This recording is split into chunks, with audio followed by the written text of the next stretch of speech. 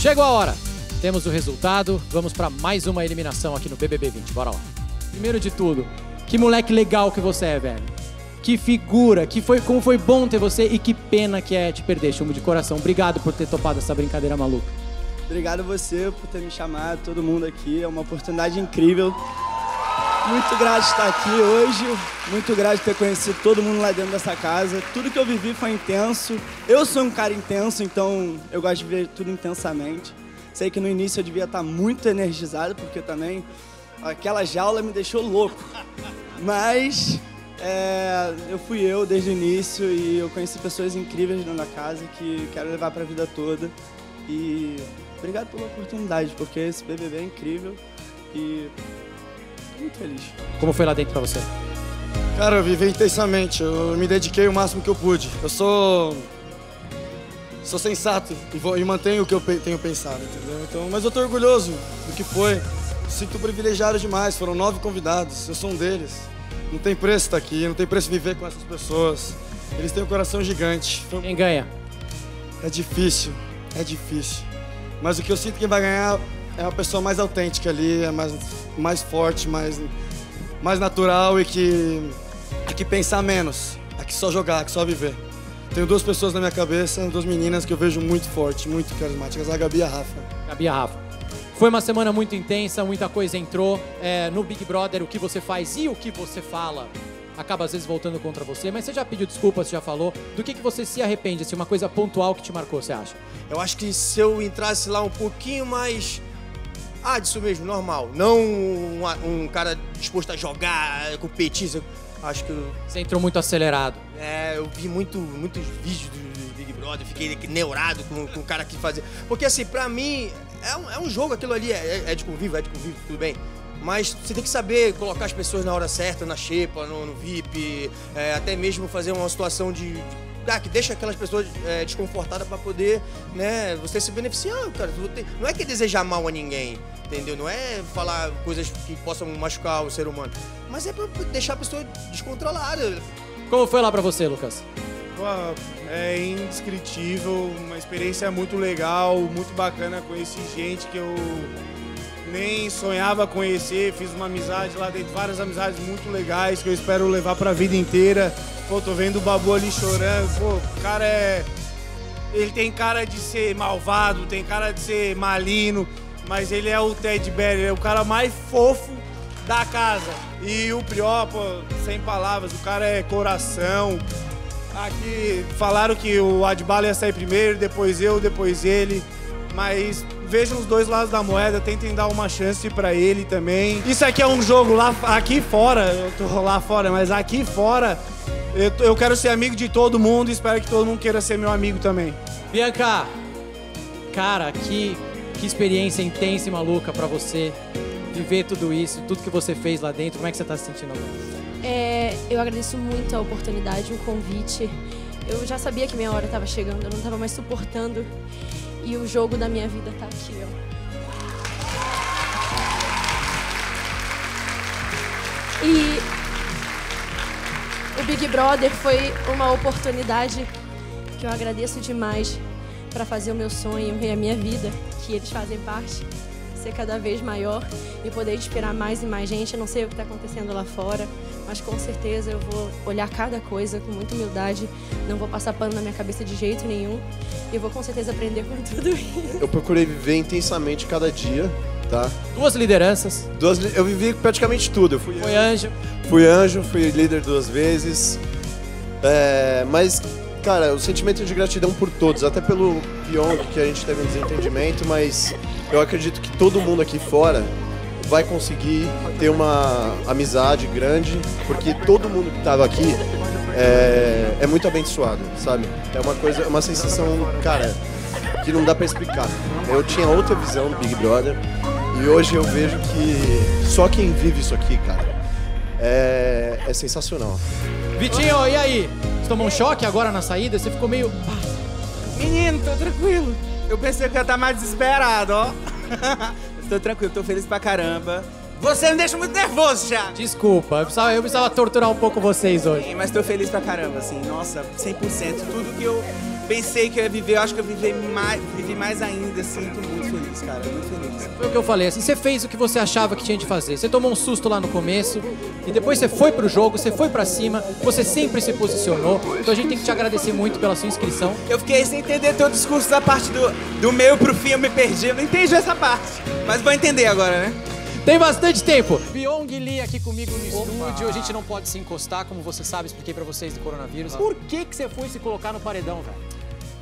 Eu segui o que eu acreditava lá dentro, sabia que tinha gente que eu gostava lá dentro que tinha risco e eu preferia eu ir pro paredão porque eu tava confiante. E eu sabia que a gente jogava no cego lá dentro, então eu tinha minha percepção do jogo de fora, do que as pessoas pensariam, do que eu estaria pensando se eu assistisse e eu fiz a minha jogada. Eu acho que é a opinião de várias pessoas na internet que você foi um dos maiores jogadores da história do Big Brother. Mesmo? Mesmo, de Nossa. verdade. Você fez jogadas incríveis e a gente vai sentir sua falta. Muito obrigado. Pyong Lee, Dani, o que, que você acha que aconteceu? Não sei, não sei. Não sei. Eu não tenho nem a pretensão de tentar te explicar também, porque são milhões de pessoas que votam. É, um dos fatores, sem dúvida nenhuma, é o fato de que você está devendo 750 estalecas para nossa produção, né? Então isso talvez tenha irritado. Então o público falou, opa, pera, pera aí, regra é regra para todo mundo. Eu tô muito feliz, pelo menos, de ter participado do programa, de ter conhecido a Marcela. Não, não, não sei, não sei o que vai ser da minha vida sem ela, da Ivy. Eu não consigo nem olhar pra essa TV que tá passando. Eles É, não a gente tá- a gente eu não fica- vou conseguir. Aqui tem o meu monitoramento não que o Dani que tá vendo. Não tem o que fazer. A vida e aconteceu e, e vamos seguir pra frente. A gente não morreu também. O que, que você acha que aconteceu, Pior?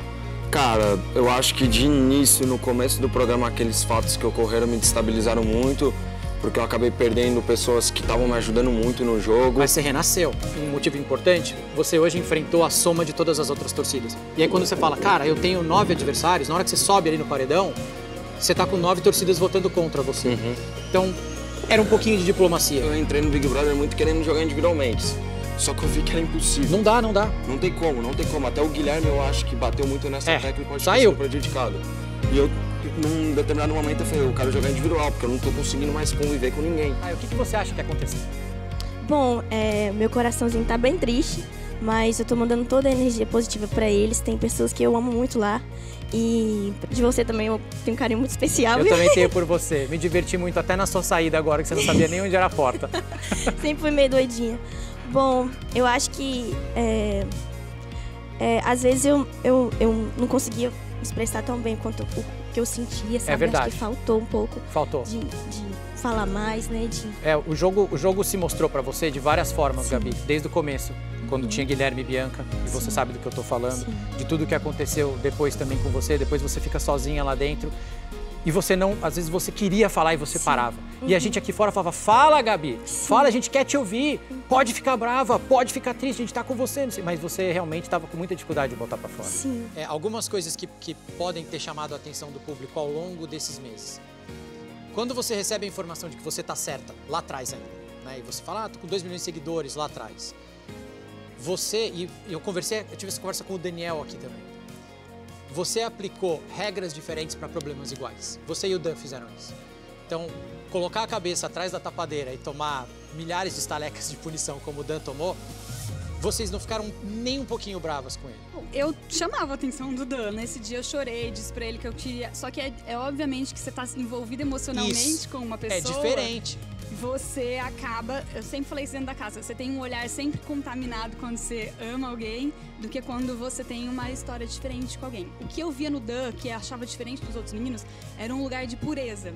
Diferente. Realmente ele é um menino estabanado, atrapalhado. E eu via que via de um lugar um pouco de pureza. O que, que você acha que aconteceu? Ah, eu sempre achei, meu jeito é muito arriscado. É bem Opa, arriscado. muito. É muito, é muito, tô É muito, muito indignada. arriscado. Muito bonitinho você falando, muito indignada. Ai, Tiago, eu tô muito mais feliz pela oportunidade que eu tive. Primeiramente, Deus que me trouxe aqui. Segundo, ao Big Brother, que acreditou em mim. Pra eu estar aqui, acreditou em mim.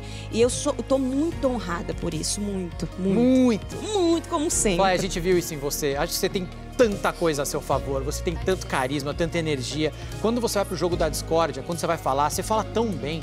Na hora de indicar alguém, você indica tão bem. Precisou só calibrar um pouquinho. Calibrar um pouquinho. Falta calibragem, faltaria, faltou muito mais coisa também. Faltou muito mais coisa, mas tá tudo bem. Gisele, tava tudo indo bem, Gisele. O que, que você acha que aconteceu? Não dá nem pra te contar também, não é uma coisa específica, mas é assim. Você é uma pessoa muito engraçada. Eu acabei de ver isso na saída, todo mundo viu. Você é uma pessoa muito divertida. Mas é que às vezes vem um negócio em você e, e te atrapalha. E você precisa aprender a controlar isso, só isso. Acho que é fácil. Você sabe, você acabou de Ser de verdade tem um preço, Thiago, e Tem. eu paguei por isso. Eu, às vezes, eu fico muito estressada, eu falo um monte de merda, Isso. que essa merda não tem como voltar depois. Não. Já- Palavra lançada já era. É isso mesmo. E não te ajudou. Então é só isso, você vai olhar e você vai falar, cara, eu, eu não posso mais fazer isso. Você vai aos pouquinhos modular, tirar esse lado, reforçar o lado bom e você vai ver que você tem tanta coisa a seu favor. Pelo seu discurso, acho que as pessoas podem ser que não, não, gostar, não gostaram que eu fiquei com várias pessoas da casa. Acho que isso. Eu acho que você demorou pra achar a sua verdadeira parceira, que é a Mari.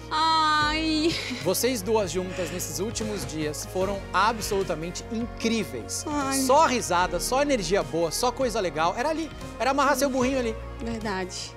Você se sentiu bem com ela também? Muito, muito. Mas eu me senti muito bem com a Marcela, eu me senti muito bem com a Gisele, eu me senti muito bem com o Dan, com a Fly, com a Bia, com a... Eu me sentia bem com todo mundo. Mas assim, realmente, nesse final, talvez eu esteja, sei lá, mais entregue. Mas eu fiquei muito feliz esses dias com, com a Mari É, você também. parecia mais à vontade com a Mari. Sim. Você podia falar um monte de besteira e ela também, Sim. vocês davam risadas juntos, então você tinha muito mais espaço com a Mari. Ela é uma ela, ela ouve mais, ela conversa mais. Sim. né? Como você tá se sentindo? Conta pra gente. Tia, assim, ó, parecia que eu sentia que eu ia sair hoje. Eu tava meio que me preparando, assim. E como eu tava muito grata, eu tô muito grata por tudo, parecia que tava me confortando isso. Apesar de estar nervosa, de estar insegura, estar com medo, eu tava tipo assim, tá tudo bem, eu sou top 5. Uma coisa que me preocupava muito, será que eu tô magoando as pessoas? Tá. O jeito de falar, a minha família, as pessoas aqui Eles dentro. estão gritando lá agora, ó. Olha o berro que eles estão dando. E isso foi uma coisa que, tipo assim, me deixou preocupada agora nesse último paredão, porque eu falei, cara, todas as pessoas que eu tava saiu, eu não tenho mais aliança, eu não tenho mais amigo aqui, as torcidas. Sim, total, Então isso faz isso já me deixou meio assim, preocupada, sabe? Isso faz diferença, mas assim, você vendeu muito caro esse paredão. Mesmo sozinha, você deu bastante trabalho nesse paredão, você vai ver depois. Você deu bastante trabalho. E você, sozinha, conquistou muita coisa. Se você tivesse aliado a Ivy antes, como a gente conversou aquele dia, talvez sua história tivesse sido diferente a dela também. Ah, o palco deste estúdio tem a honra de receber um gigante do BBB 20, Alexandre Santana Babu. Parabéns, Babu. Você é o primeiro entre os homens, você é o campeão dos homens, É, Babu. Pelo menos. Foi muito bom, Thiago. Foi uma experiência incrível. Eu lembro que eu falava com a minha gente, eu falei, eu acho que eu não passo da primeira semana, pode marcar os shows para fevereiro. então, é, foi mais do que eu imaginava, né? É, eu estava querendo muito, estava torcendo muito, mas eu estava sentindo uma falta dos meus filhos. A assim, gente viu. É uma coisa de louco. Eu, eu eh, teve um, sei lá, pro sexto, sétimo, eu falei, ah, tá, então tira, tira, pelo amor de Deus, não aguento mais ficar sem apinar. E não dá pra acostumar com paredão também, né? Foram muitos, Babu. Muito, foi, foi, foi um, no começo, assim, até o top 10, eu, eu me senti. é, eu me agarrei ao Prior como, como o último do- dos seres Mas humanos. vocês formaram uma dupla incrível. É, porque parecia que tava todo mundo batendo, batendo, batendo, eu tentava acalmar ele, eu calma Prior, calma Ele pilhou Prior. muito, ele pilhou muito. É, mas eu acho que ele é um ser humano incrível, Priorzinho. Eu acho que agora ele, ele mais tranquilo. Tô doido pra rever ele. Tá o Chum. assistindo, tá te dando bronca, viu? Ah, é? É, vi nos stories, tá dando bronca em você direto lá.